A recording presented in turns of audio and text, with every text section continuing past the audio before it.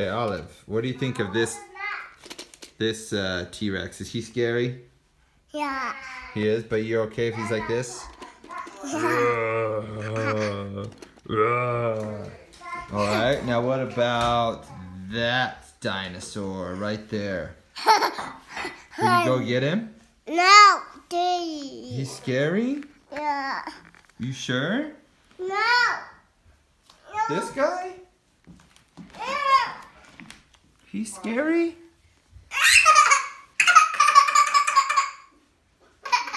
Okay. What about what about this guy?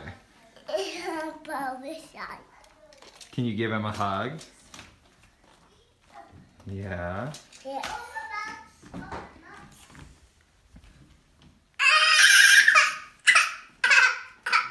Okay.